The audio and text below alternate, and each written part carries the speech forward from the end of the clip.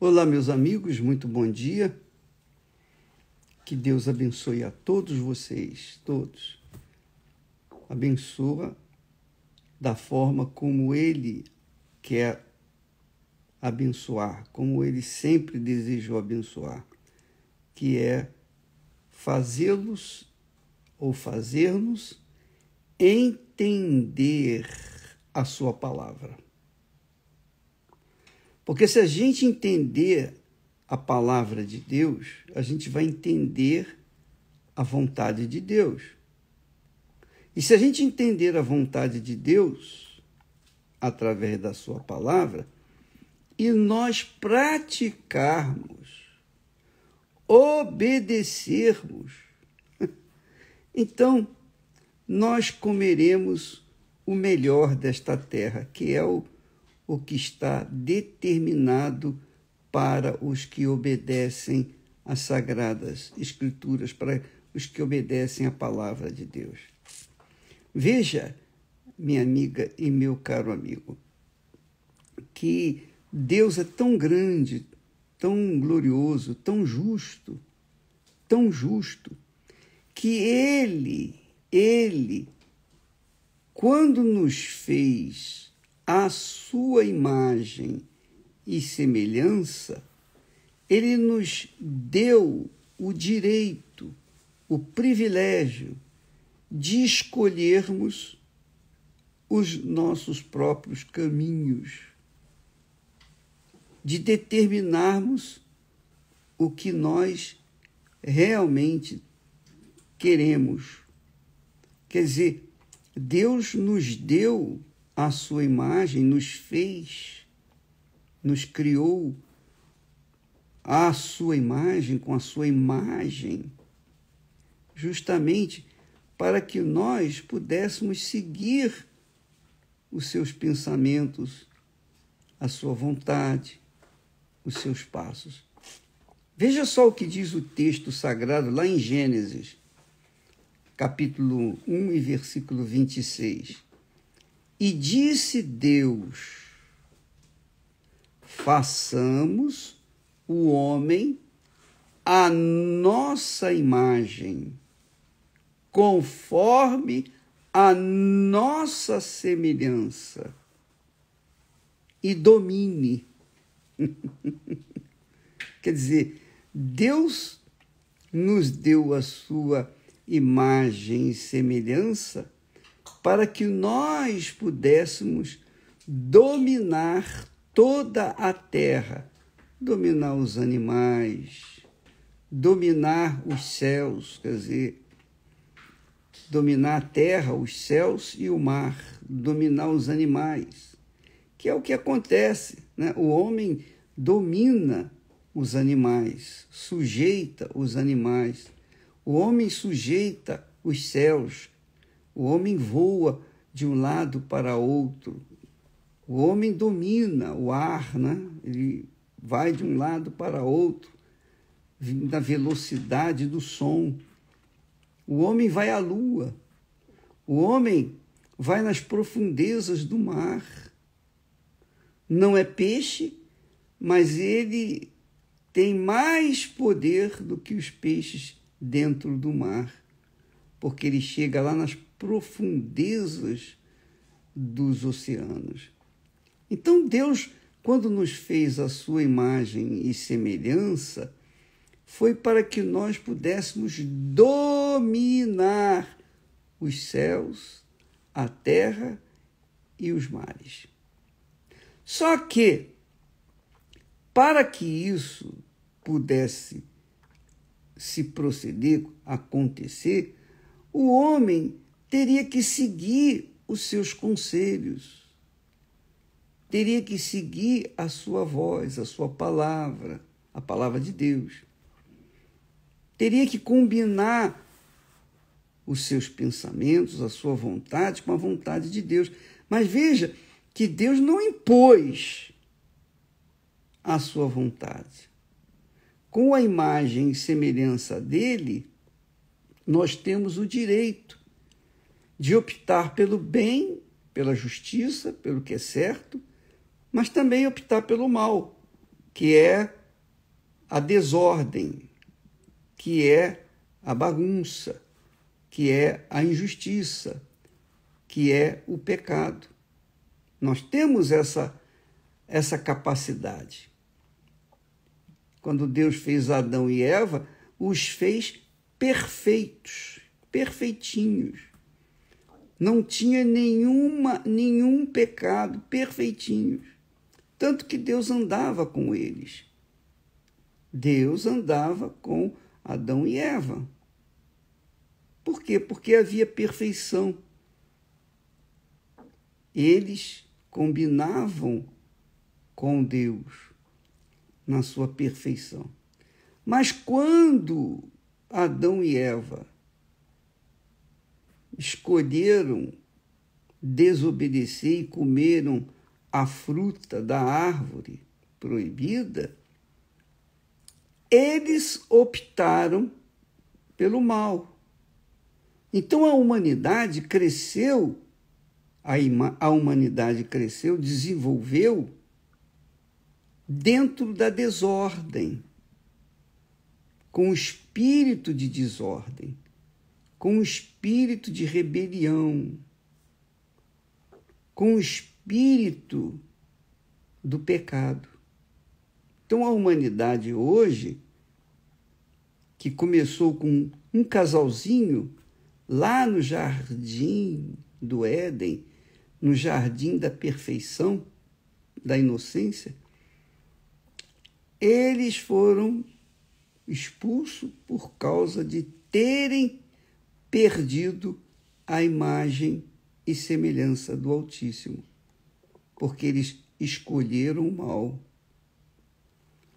Agora você diz assim: ah, mas Adão e Eva, tá vendo? Poxa, eu, tô com, eu estou colhendo os frutos que Adão e Eva é, plantaram de rebeldia. É verdade, nós colhemos os frutos. Só que, com o conhecimento da palavra de Deus, com a consciência do que é bom e do que é ruim, do que é certo, do que ou do que é errado e do que é errado, com a consciência do que é justo e do que é injusto, nós podemos fazer a nossa própria história. Nós podemos restaurar a nossa comunhão com Deus, até porque quando Jesus veio, ele pagou os nossos pecados, pelos nossos pecados.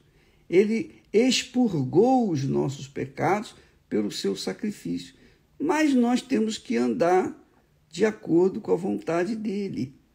Por isso, ele nos deu a consciência do certo e do errado, do justo e do que é injusto. E nós, por livre e espontânea vontade, se escolhermos pelo que é justo, então nós retornamos com a imagem e semelhança do Altíssimo e passamos a ter comunhão com Ele. Mas, se nós optarmos pelo que é injusto, pelo que é moda nesse mundo, rebeldia, rebelião, aí Deus não pode fazer nada, porque Ele nos deu e nos dá o direito de termos de volta a boa consciência, a consciência do que é bom, a consciência do que é justo, a consciência do que é certo, a partir do momento que nós seguimos na Sua palavra, ouvimos a Sua voz, obedecemos a Sua voz. Agora, se nós gostamos da bagunça, se nós queremos, nos inclinamos para o que é injusto, para a injustiça, é claro que ele, Deus, não vai poder fazer nada, porque ele nos deu o direito de escolher o nosso próprio caminho. Então, você entende agora por que é que as pessoas sofrem?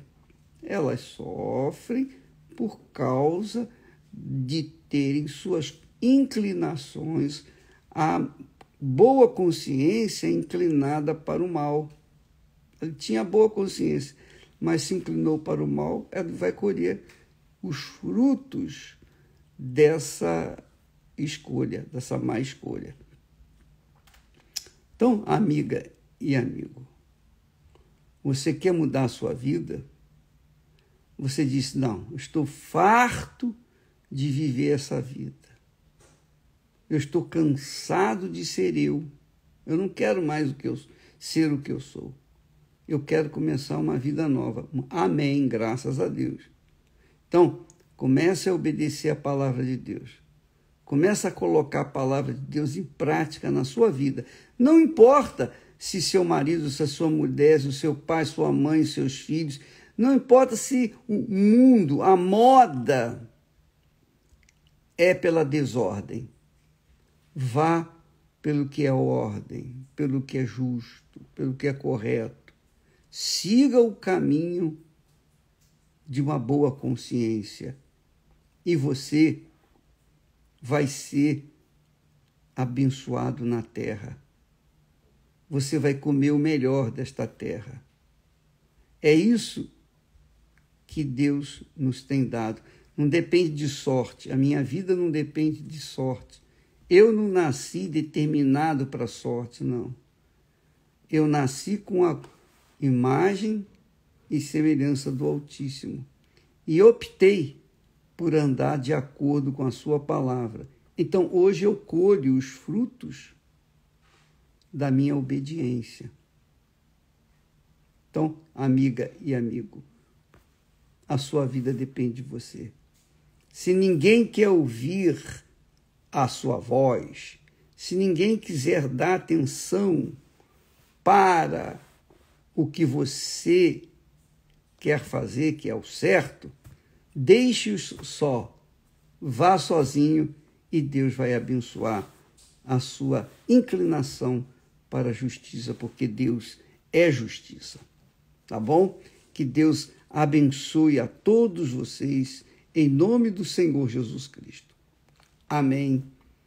E graças a Deus. Aliás, neste sábado, nós estaremos fazendo uma celebração de uma ceia para toda a família, a família da fé, a família que deseja. Você talvez seja aquela criatura que não tem pai, nem mãe, não tem ninguém, mas nós vamos ser a sua família e nós vamos estar juntos neste sábado, às cinco da tarde. Você vai colocar à sua mesa um pão, um pão representando Jesus. Você vai colocar o seu café, vai colocar um, um lanche se você quiser, mas simplesmente nós vamos ter o pão que representa o corpo do Senhor Jesus e vamos participar da mesa do Senhor. Não é Santa Ceia, mas é a mesa do Senhor em família. Você é o nosso convidado porque nós estaremos fazendo essa cerimônia em todo o mundo. Todos que quiserem, todos os que almejarem ter uma família e participar dessa celebração de Natal conosco, então nós estaremos sentados à mesa, eu, minha família, todas as famílias, nós vamos nos interligarmos através da Record TV e também das mídias sociais. Você é o nosso convidado neste sábado, 5 da tarde, horário de Brasília horário de Brasília. Em, outro, em outros lugares vai ser outro, de acordo com o horário local. Deus abençoe a todos e até lá em nome do Senhor Jesus. Amém.